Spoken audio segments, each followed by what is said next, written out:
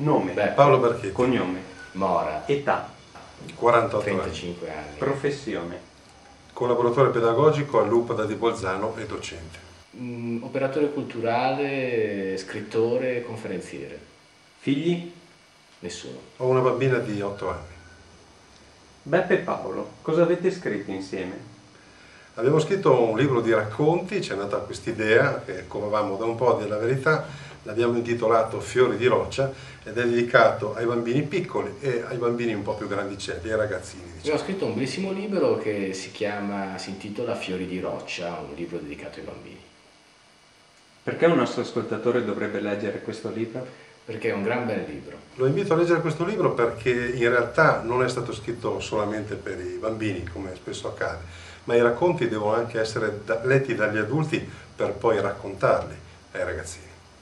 Di che cosa parla questo libro? Parla dei sogni, dell'immaginazione, mm, di un mondo come quello dell'infanzia che è meraviglioso e fantastico.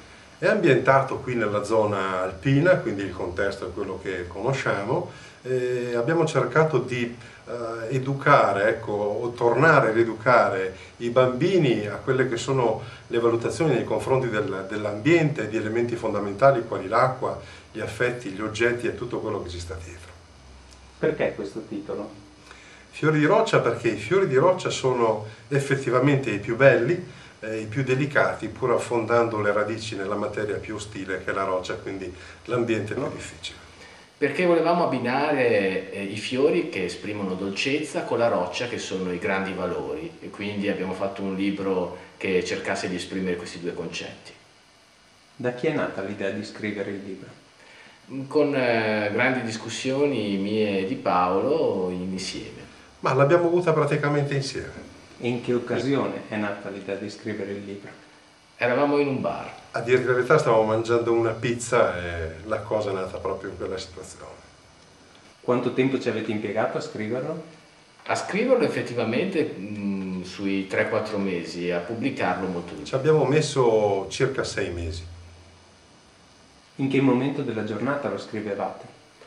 Io l'ho scritto durante un periodo estivo, in vacanza, ero in montagna, eh, in eh, due settimane, dico la verità, il concetto Per base. quanto mi riguarda di notte, non so Beppe, ma io ho scritto praticamente esclusivamente di notte, il momento migliore. Quanti racconti hai scritto per questo libro? 5. E Paolo?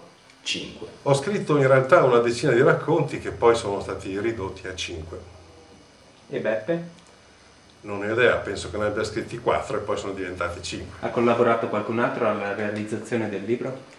Sì, l'amico Lino Signorato che ha realizzato delle bellissime illustrazioni. Oh sì, eh, cito a questo proposito Lino Signorato, un caro amico che è stato colui che ha illustrato eh, questo libro di racconti e lo ha fatto anche bene, devo dire. Fate un saluto a Lino. Ciao Lino. Ciao Lino! Quando hai scritto il tuo primo libro? Ho scritto il mio primo libro a 22 anni. Era un libro di avventure giovanili di un adolescente particolare alla ricerca di qualche cosa, forse se stesso. Questo in realtà è il mio primo libro.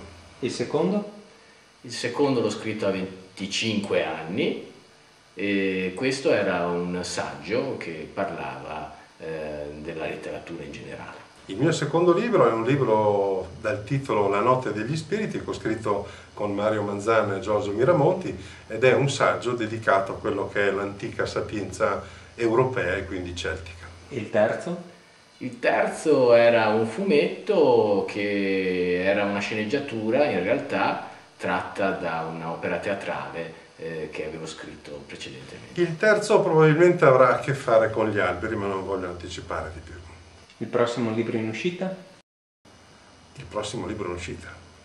Il prossimo libro in uscita eh, ci stiamo meditando, spero di poterlo fare ancora con l'amico Paolo, anzi ne sono sicuro. Lo scriverete sempre insieme?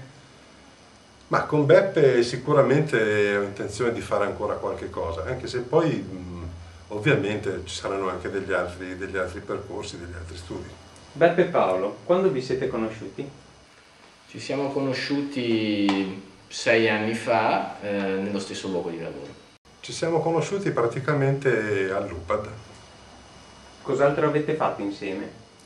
Mm, alcune conferenze, ehm, belle chiacchierate e, e anche qualche bevuta. Oh, beh, eh, abbiamo fatto anche delle...